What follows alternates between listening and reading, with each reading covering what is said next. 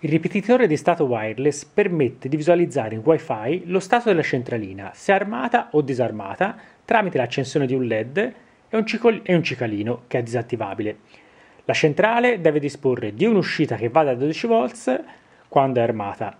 Il ripetitore è composto da un trasmettitore che va collegato alla centrale e da uno o più ricevitori eh, che si possono posizionare all'ingresso dell'abitazione, all'interno delle sirene, eh, nella camera da letto, in salotto, eccetera, cioè in tutti quei punti dove vogliamo controllare che l'impianto sia inserito o disinserito.